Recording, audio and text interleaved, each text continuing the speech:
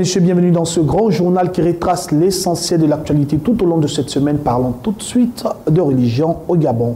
Temps de prière en faveur du Gabon, tel était le thème de la deuxième édition du programme organisé par le ministère d'enseignement sur la louange et l'adoration en abrégé Malois du Gabon. Reportage signé BNTV Gabon.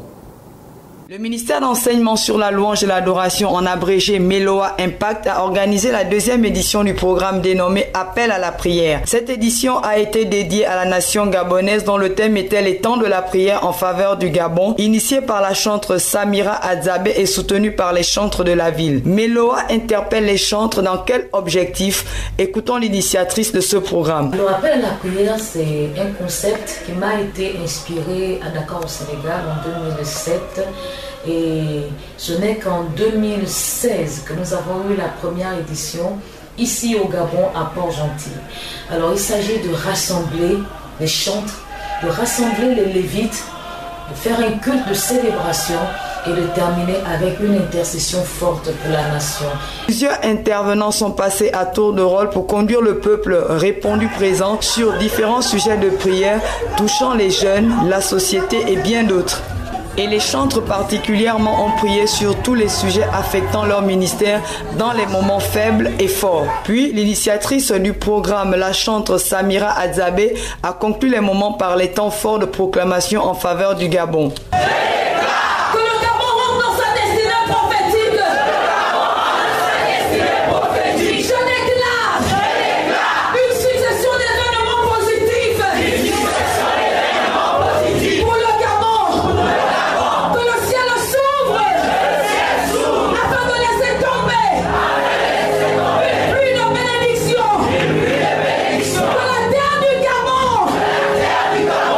Quelques impressions au sortir de ces moments Je voudrais dire euh, merci au Seigneur pour euh, ces moments qui en fait parlent de la nation. Et je crois que ce sont des initiatives en fait qui doivent être prises pour plus euh, amener la chrétienté du Gabon ou la chrétienté gabonaise à devoir prier pour notre nation. Et cette année 2017, nous avons encore fait la, deuxième édition à Port-Gentil et nous avons passé des moments intenses dans la louange, des moments intenses dans la prière et les proclamations prophétiques en faveur de notre nation, le Gabon. Nous restons toujours en religion, direction à présent le Bénin, un colloque placé sous le thème Pourquoi Dieu choisit le Bénin et pour quelle raison? C'est tenu à Cotonou à l'initiative du serviteur de Dieu, Laurou Ange Maximilien. L'objectif de ce grand programme était d'expliquer au grand public le choix du Bénin dans la préparation de la venue du Christ. En reportage.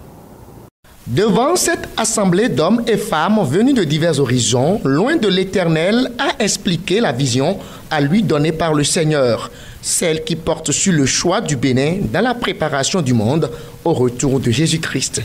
Notre rencontre aujourd'hui a pour objet d'informer les Béninois que Dieu nous a fait la grâce de choisir le Bénin pour apporter au monde les connaissances qu'il faut pour s'apprêter à recevoir Jésus-Christ qui vient bientôt. 41 ans que le serviteur de l'Éternel a été oint pour conduire cette mission. Et pour la faire, l'occasion de ce colloque était propice pour lancer un appel à tout le corps de Christ au Bénin. Le message que j'envoie au cours de ce colloque, c'est pour faire comprendre ce que Dieu m'a dit dans l'appel. Et pour que je ne serai pas un individu qui va accomplir ce plan c'est tout le peuple béninois qui doit se mettre ensemble comme un seul homme. Avec des démonstrations à l'appui, le conférencier, à travers la communication phare de la journée, a insisté sur ce que Dieu veut faire de ce pays. Et cela l'a conduit à pondre deux ouvrages, l'un sur les changements climatiques observés de par le monde et l'autre intitulé Dieu visite l'Afrique. Le fait que Dieu ait choisi un béninois, moi je suis noir, je suis béninois il y a les blancs, il y a les riches, il y a les grands du monde, il y a les nations puissantes. Dieu les a vus là. Mais Dieu est venu choisir le Bénin, un béninois au Bénin, pour faire l'œuvre que nous allons commencer là. Alors, Dieu a choisi l'Afrique. Ces révélations de l'homme de Dieu n'ont pas laissé indifférents les participants à ce colloque. Je participerai forcément dans cette œuvre merveilleuse que le Seigneur voudra faire. À travers cette conférence, les âmes qui sont perdues seront sauvées. Le Seigneur veut toucher le monde entier à travers cette conférence. Ceux qui sont dans les ténèbres, ceux qui sont enchaînés, ceux que l'ennemi a déjà détruits à travers cette conférence, le Seigneur va, va les, les sauver. Les voiles que l'ennemi a portés sur eux seront enlevés. Les signes du retour de Jésus-Christ sont évidents, dira le conférencier, avant d'inviter tout le peuple béninois à se tenir prêt pour relever le défi et à se préparer à vivre cette géante manifestation divine, jamais vue dans le monde. En Côte d'Ivoire, la célébration de la Pentecôte à l'église évangélique La Race des Vainqueurs, dirigée par l'apôtre Yéo Prosper, a été marquée par un culte d'intégration de nouveau. Une remise de dons des mamans était également au programme de cette belle fête qui s'est déroulée dans la salle des fêtes de la Maison Blanche de la commune de Komassi dans le district d'Abidjan. Suivons ensemble les temps forts. C'est par une procession en fanfare qu'a débuté le culte d'intégration, culte de la Pentecôte 2017 à l'église évangélique La Race des Vainqueurs. Dans une salle des fêtes de la Maison Blanche d'Abidjan Koumassi, prise d'assaut par les parents, amis et chrétiens de la race des vainqueurs, les nouveaux baptisés et nouveaux membres de l'église, 73 au total, ont crié leur attachement à Jésus-Christ.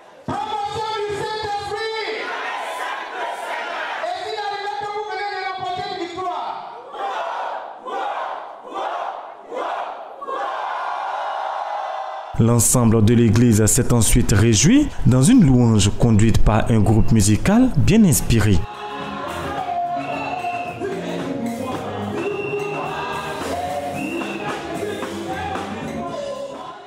Si la Pentecôte marque l'avènement du Saint-Esprit, elle est également la célébration de la naissance de l'Église. Pour l'apôtre Yéo Prosper, les nouveaux baptisés et nouveaux membres de l'Église doivent en connaître le sens.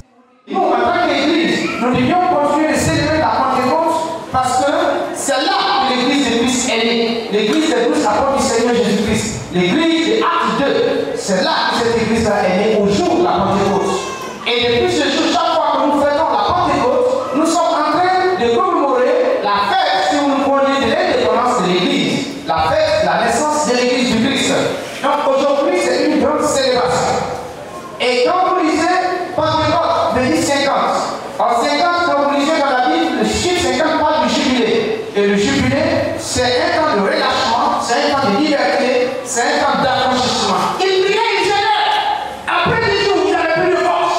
Mais quand le chien est entré, la chair s'est renouvelée. Quelque chose va se renouveler en toi. Quelque chose va se renouveler en toi.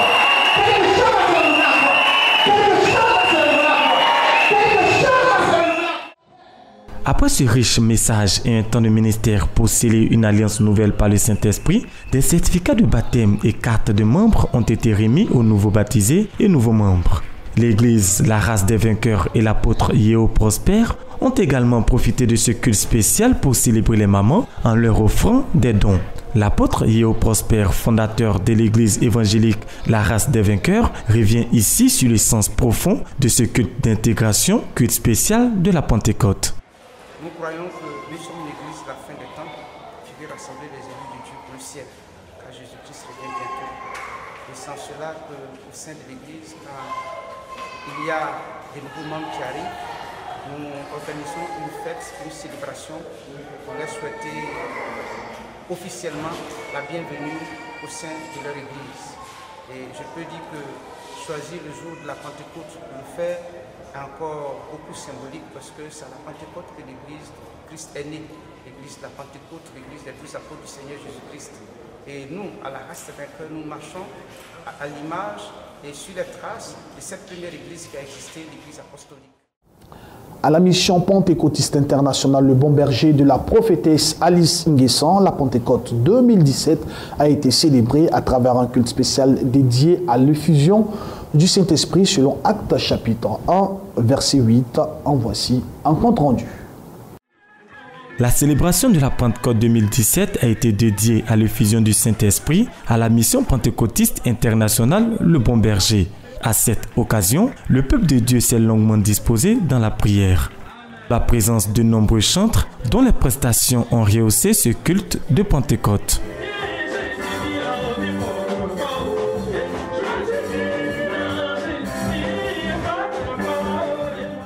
Dans sa prédication, la prophétesse Alice Nguessan a indiqué que par l'avènement du Saint-Esprit, une alliance est scellée entre Dieu et l'Église. Je me mets par terre de mon esprit.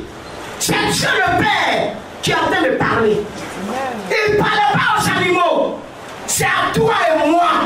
Ce message est adressé à toi et moi. Je veux que tu pratiques et tu files le spirituel.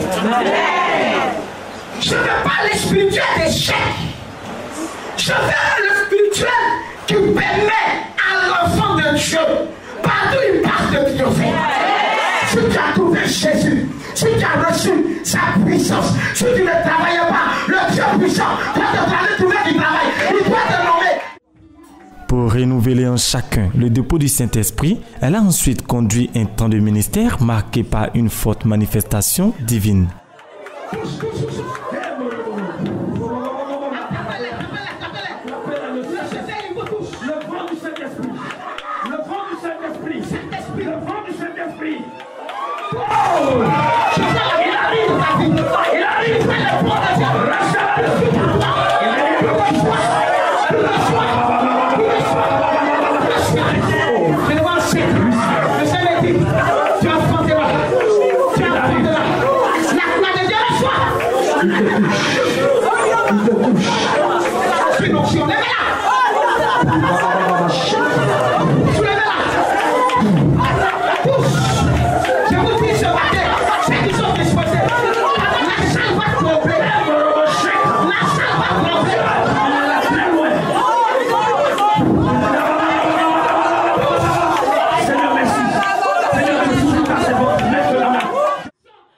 À l'issue de ce riche culte, les assistants de la prophétesse missionnaire Alice Nguessan sont revenus sur l'importance capitale du Saint-Esprit dans la vie de l'enfant de Dieu.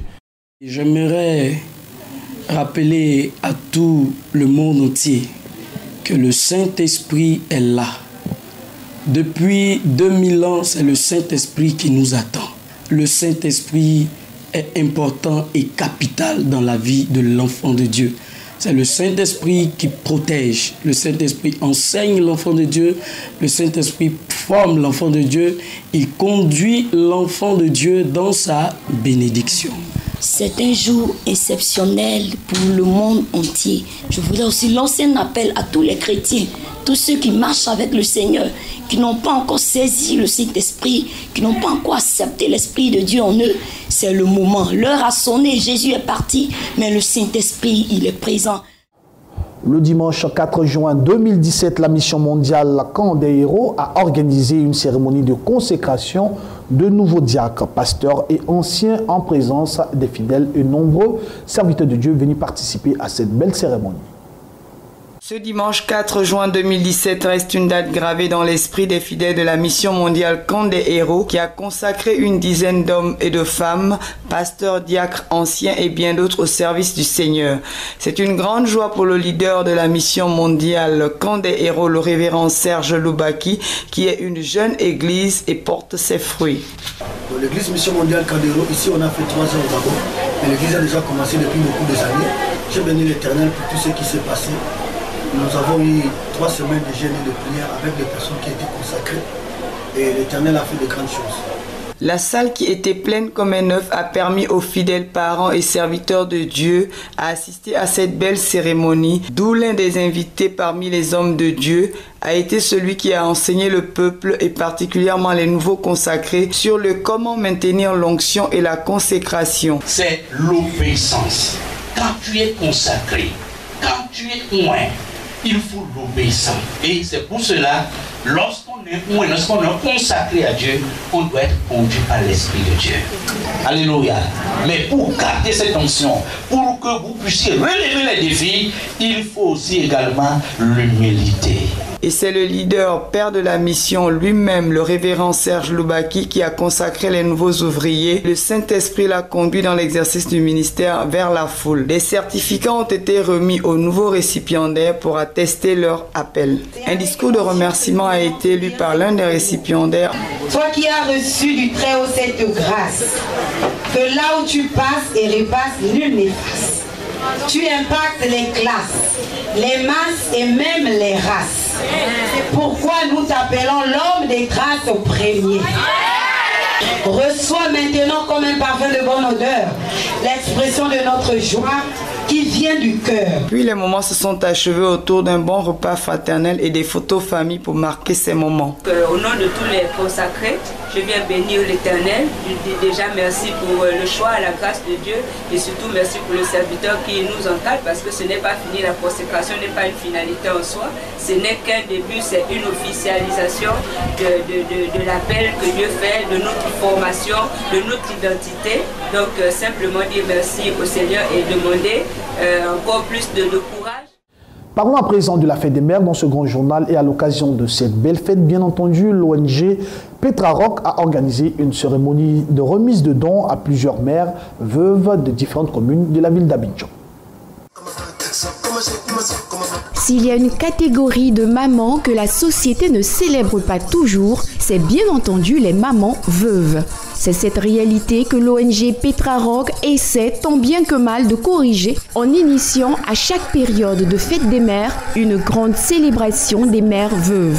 La troisième édition du genre, placée sous le thème Mère veuve, tu n'es pas oubliée, s'est déroulée ce samedi 27 mai 2017 au foyer des jeunes de Bangerville. Près de 500 veuves venues des différentes communes du district d'Abidjan et de l'intérieur du pays se sont toutes retrouvées pour partager un moment qui leur était dédié. Certaines mamans veuves de l'ONG Petra Rock ont ainsi saisi cette occasion pour faire des témoignages évoquant les actions de l'ONG dont elles ont pu être bénéficiaires. J'ai Ma première clôture pour passer son bac, contrôle, elle est obligée de sortir. Parce qu'ils vont la chasser. Ils font pitié. Mais Dieu ne nous abandonne pas. Cette grande célébration a été également meublée par des prestations d'artistes, en l'occurrence David Louquezon, Pasteur Robé, H2N et bien d'autres.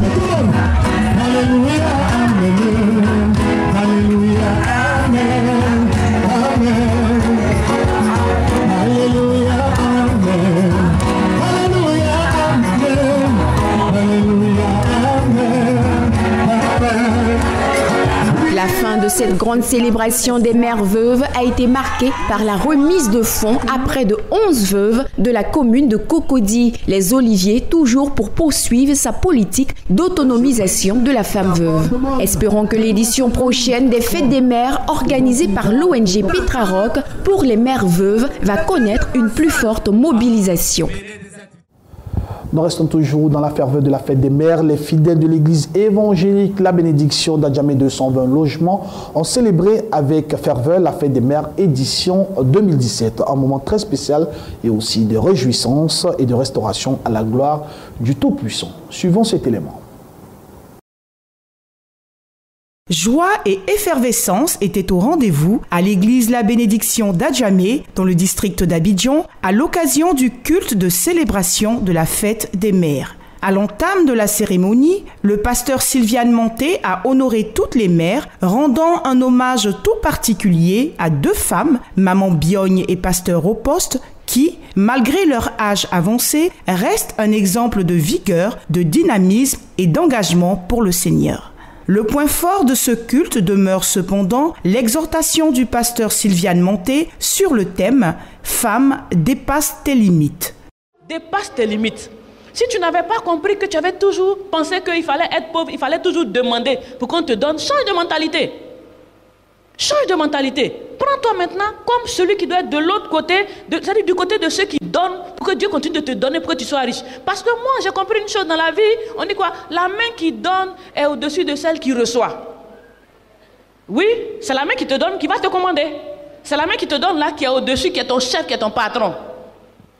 Donc tu seras toujours en bas, en train de demander. Il sera toujours en train de te donner selon son bon vouloir. Donc choisissez votre position. Si vous voulez qu'on vous célèbre, soyez du côté de ceux qui donnent. Vous serez célébrés à vie. Parce qu'il y aura toujours des gens qui viendront pour vous célébrer, parce qu'ils en ont besoin. Il y en aura toujours. Donc, aujourd'hui, nous sommes venus quoi? Pour déplacer les bonnes. Déplacer une bonne, c'est une volonté. Je dis qu'une volonté de quoi? De passer à un autre niveau. Une volonté de changement. Et c'est possible. Avec une détermination, c'est possible. Et en posant des actions concrètes. Le culte prend ensuite une allure festive avec les prestations aussi enlevées les unes que les autres de plusieurs chantres dont Oreb David et Boniface.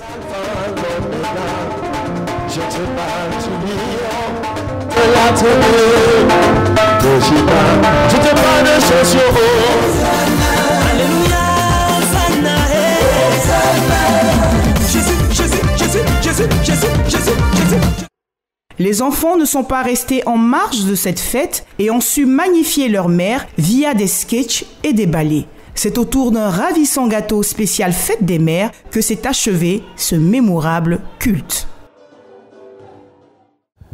Jésus Save Ministry vient d'organiser un grand programme d'évangélisation intitulé Canaan 2017, un moment d'impact, il faut le préciser, de miracles et aussi de guérison. Canaan 2017 est un vaste programme d'évangélisation, véritable croisade à l'unisson pour Christ, initiative de l'église évangélique Jesus Save Ministry. Plusieurs chrétiens venus de diverses églises ont participé à cette prière afin de recevoir les grâces du Seigneur Jésus-Christ. Canaan 2017 fut des instants de miracles, de témoignages et de guérisons durant lesquels une jeune fille a été guérie d'un cancer de sang. Prophète Ebenezer Dadou, leader principal de l'église Jesus Save Ministry de Bondoukou, définit l'importance de la tenue de cette grande croisade. Un programme inspiré par le Saint-Esprit que nous avons commencé. Nous sommes déjà à la quatrième édition. Dans Marc 16, la Bible dit quoi? Allez partout le monde prêcher la bonne nouvelle à toute la création. Et celui qui croira sera baptisé, sera sauvé, mais celui qui ne croira pas sera condamné. Et donc, notre objectif, au fait, c'est d'atteindre les populations, leur démontrer par tous les moyens que Jésus-Christ est sorti du tombeau. Et donc, c'est pour cela que nous avons initié ce programme. Il est venu spécialement de Cotonou au Bénin afin d'apporter sa contribution à l'édification de la gloire du Seigneur Jésus-Christ. L'apôtre Hervé Razouma a, au cours de sa prédication, invité les chrétiens à rechercher ardemment le Tout-Puissant pour le salut de leur âme. Et il a aussi donné les raisons qui justifient sa présence. L'objectif de ce message, c'est de faire comprendre à ceux qui sont venus que la victoire est déjà pour. Sont le diable qui est l'ennemi, le premier ennemi. Jésus-Christ de Nazareth l'a sur la croix et la victoire est pour eux. Ils n'ont plus besoin de dire le diable a une puissance. Toute la puissance du diable a été transférée. C'est à eux de comprendre, de se lever, d'agir, de posséder le chrétiens dans leur ensemble ont dit être heureux de participer à une telle initiative qui pour eux constitue un véritable canal puissant qui leur permettra d'atteindre le royaume des cieux. C'est que nous ne devons pas rater. Qui bien pour tout le monde. De lorsqu'on vient ce genre de cérémonie, on reçoit la grâce, on est délivré et c'est bien pour tout le monde. À travers cette grande croisade d'évangélisation, de miracles, de témoignages et de guérisons, l'église Jesus Save Ministry du prophète Ebenezer Dadou veut transformer la ville aux mille mosquées, qui est Bondoukou, en la ville aux mille églises pour Christ. Nous ouvrons à présent la page de l'actualité africaine dans ce grand journal au Soudan du Sud. Un cessez-le-feu a été signé au Soudan du Sud entre le gouvernement et une faction rebelle. L'accord de ce cessez-le-feu concerne un État où se déroulent de violents combats depuis maintenant plusieurs mois. Cessez-le-feu au Soudan du Sud. L'accord a été signé ce dimanche 4 juin à Kampala, en Ouganda, entre le gouvernement sud-soudanais du président Salva Kiir et une faction rebelle de l'armée de libération des peuples du Soudan basée dans l'état du fleuve Yehi. Cet accord vient mettre fin à des mois de combat qui ont fait des milliers de déplacés.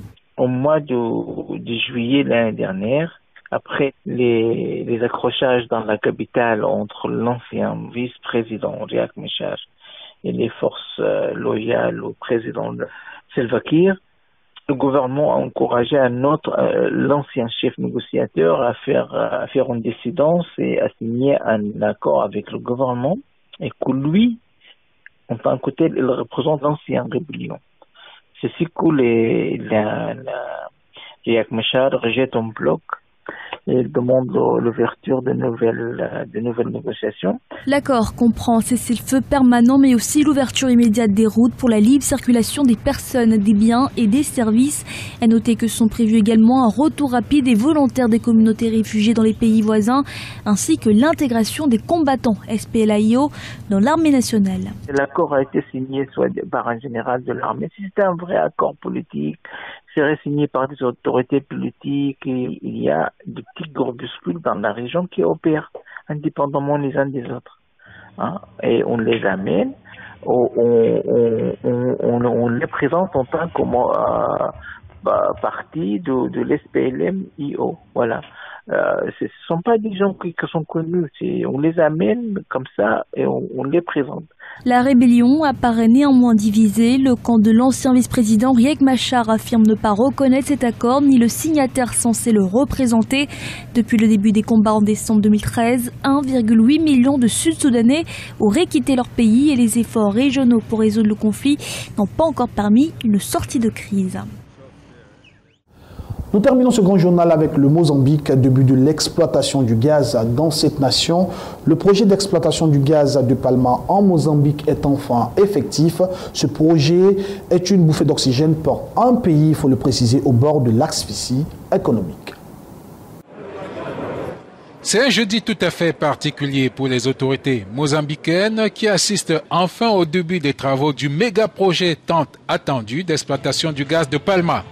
La dégringolade des prix du gaz sur le marché international avait jeté le doute sur l'exploitation effective de 5 000 milliards de mètres cubes de gaz naturel découverts sept ans plus tôt. Plus d'une fois, le début des travaux avait été reporté, d'où l'enthousiasme du chef de l'État. Les Mozambicains viennent de témoigner du lancement d'un projet structurant pour notre économie qui, de manière certaine, va avoir un impact positif sur nos vies. Le président de la multinationale Eni se veut plus optimiste. Juste Coral South, car il y aura aussi Coral North, va donner à la communauté, c'est-à-dire la part qui va revenir au gouvernement, sera d'environ 16 milliards de dollars. 16 milliards de dollars en 25 ans d'exploitation, une bouffée d'oxygène pour ce pays financièrement asphyxié et au banc des bailleurs de fonds, comme le FMI. Pour le Mozambique, cette annonce est très importante car elle vient au moment où le pays traverse une crise financière et cela montre que les investisseurs gardent confiance dans ce pays. Cela montre aussi que ces réserves de gaz vont être exploitées alors que pour le moment ailleurs dans le monde, à cause du bas cours des hydrocarbures, beaucoup de réserves de pétrole et de gaz ne remportent pas des décisions finales d'investissement et ne sont pas exploitées. C'est au total un investissement de 8 milliards de dollars qui pourrait faire du Mozambique, souligne l'AFP, le futur Qatar africain, à condition que la gouvernance suive, pourrait-on ajouter. Mesdames et messieurs, c'est ici que prend fin ce grand journal préparé par l'ensemble de la rédaction de Béni TV que vous pourrez retrouver sur notre site internet. Bonne suite de programmes sur le Blessing Channel. Dieu vous bénisse. À bientôt.